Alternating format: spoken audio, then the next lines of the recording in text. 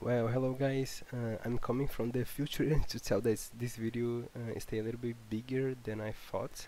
So I'm coming here to say that this video will be split in two sections, okay, in two parts. So uh, the time of the video uh, doesn't stay too too big, okay? So that's it guys, enjoy the video. Well, hello guys, welcome to the first video of this course so I promise that this video it will be, it would be a practical one. So today we start with the codes open it at least this. So I will try to be brief in this video because I just want to I just want to introduce you guys to the codes uh, and talk uh, a little bit of each part of the code. So so let's begin.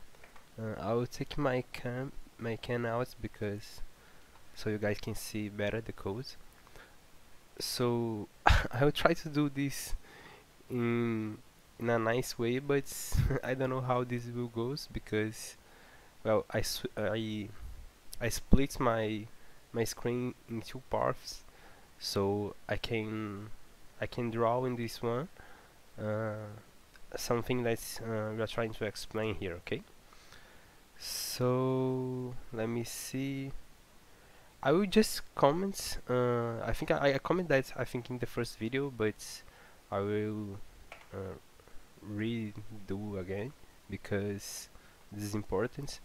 So the the shortest overview over this code is that here we have the libraries. I will uh, tell about them in a second. And here we have uh, this uh, the flow definitions here we have the function definitions and here is the main time loop of the code and here is just a plotting part okay? So basically the, the time loop ends here. So this is a, a extra part that we can use for visualization okay? And here in the final um, I, I put uh, to to generate the the files of the simulation for just one time step for the final time step but you guys could uh, actually include this in the time step that you guys uh, want uh, the velocity fields okay? But here uh, if we take that those comments out this would generate the the files for the final time step okay that's you guys uh, this may be useful okay? And I don't know if that's that code of the the github it has this but if it, it doesn't I will put there. Uh, this is just to count the time that the simulation is spending to run okay? So if you guys put uh, a small uh, amount of points here uh, this should run fast okay? So let's begin.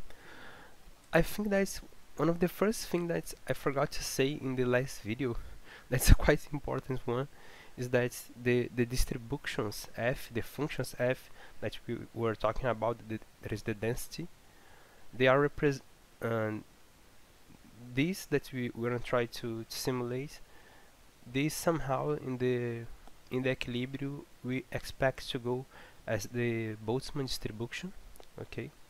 So which has like minus v square over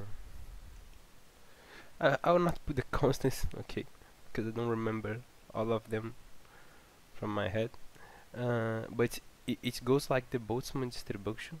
So basically that's why we are doing the the Lattice Boltzmann methods okay. And, and okay so basically this this is important thing that I forgot to mention so now from the code itself uh, as we said in the in the first video in the second video uh, the model that you are trying to use to reproduce here is the D2Q9 model. So D2Q9 the D2Q9 we mentioned that it's 2 is because it is two-dimensional and 9 is because we have 90 uh, velocities 90 directions okay? So in our codes here on the left uh, I will begin by the directions.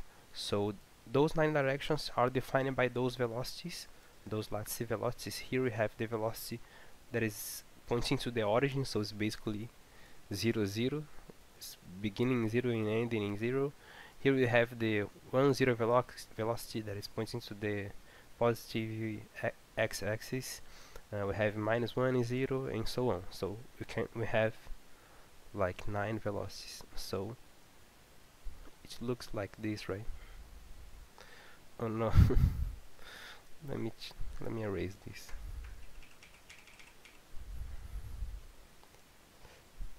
Here here here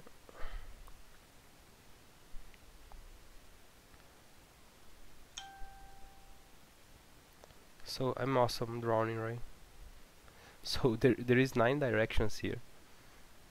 Okay. Uh, so this is the idea. And okay so these are those lines.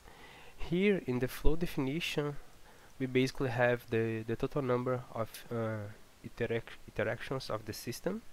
So here in this case uh, it is a short one. It has just 1000 interactions.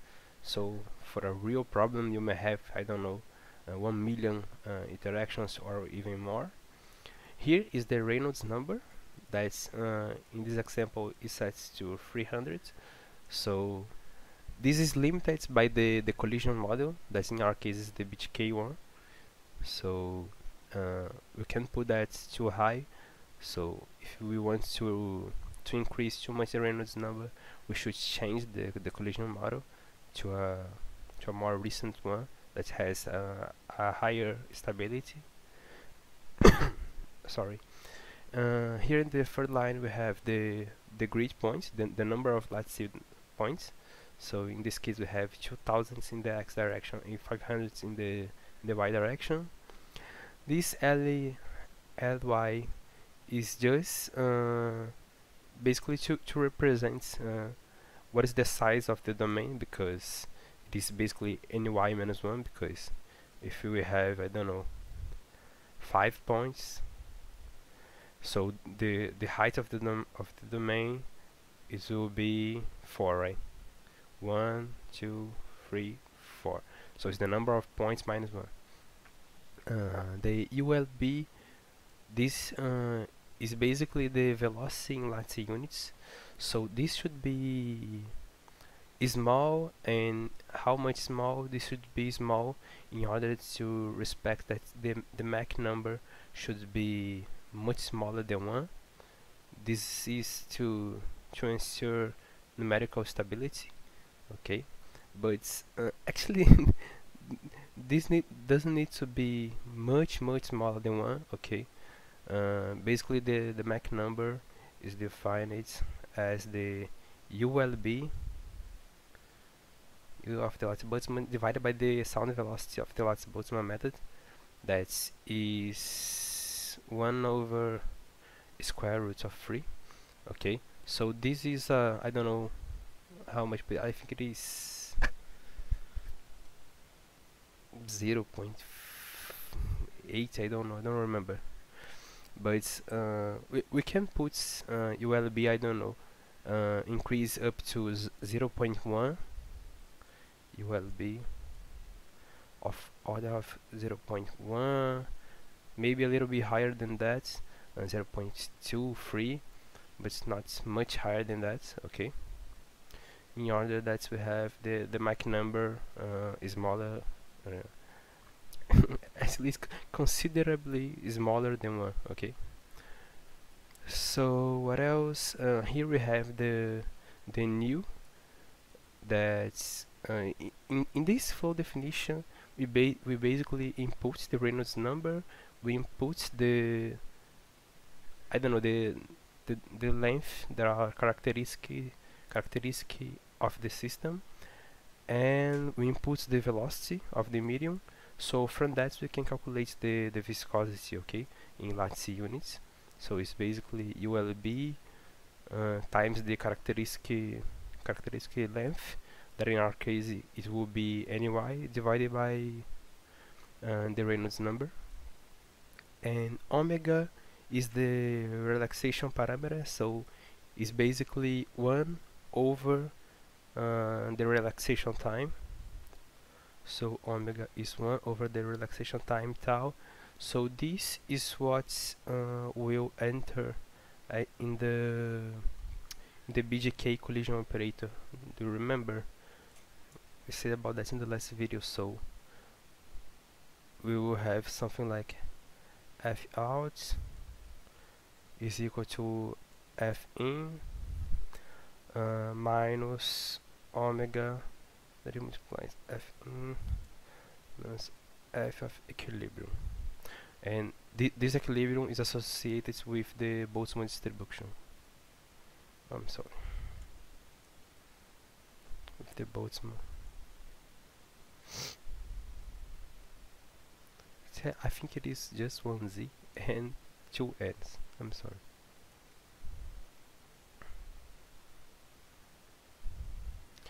Okay so this uh, omega is this one here that is 1 over tau where tau is the relaxation time. It's in I don't know uh, with a physical meaning it's associated with the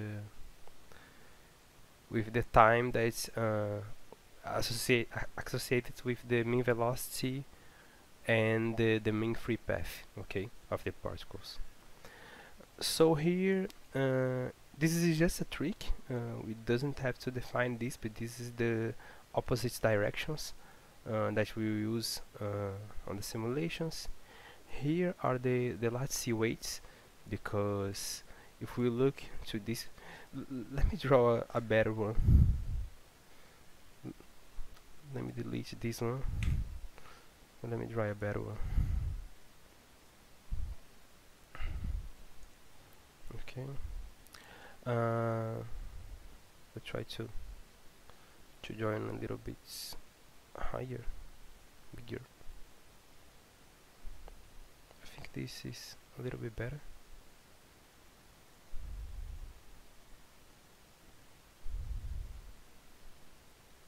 Okay uh, so we have to define weights because uh, going to this direction that is closer to, to these points uh, should be easier. So this weight should be uh, smaller. Okay so so the weights associated with a, with a probability. Uh, you may think in this way. So it is easier to go uh, to a place that is closer and is uh, harder to go to a place that is further away. Okay so those that are in horizontal and vertical lines are the smallest ones. So it is the 1 over 9 and in the diagonal ones we have 1 over 36 and of course that's uh, stay uh, stay in, in, the same place uh, doesn't go to anywhere. Uh, it has the the higher probability it has the higher rate. Okay that is uh, 4 over 9 is the first one so here we have the sound velocity as we mentioned. It will be associated with the the Mach number here. So in the function definitions we have uh, th this uh, function calculates the density and the velocities. So the density will be the sum of the of the distributions fi in those nine uh, points of each cell so i equals to 0 up to 9 uh, the velocities the velocities u is we can say as the the first momentum. So it's basically uh, the sum of i of the direction of the of the of the velocity vector of the lattices those ci here those ci here uh, times the the distributions fi. Okay. I think we have actually whole times u is equal to this. This is the first momentum first order momentum. So those are here in this function. So this function returns uh, the density and the velocities the equilibrium distribution as I said uh, is related to the Boltzmann distribution. So here uh, in this case we are expanding the, the Boltzmann distribution uh, that is in, in a medium with a velocity u. Uh, this will be expanded uh, according to the Taylor expansions up to second order. So this is this function here okay? Here we will put the the obstacle that we are trying to simulate because if we we, don't put uh, any kind of obstacle nothing to the flow interact with uh, we basically will see nothing right?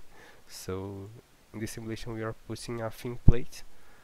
So is represented by this uh, by this part here okay?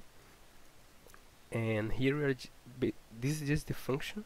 And here we create uh, the obstacle. In fact so this fromfunction uh, this is a model from numpy that will loop through this function uh, over uh, from 0 up to those values here okay?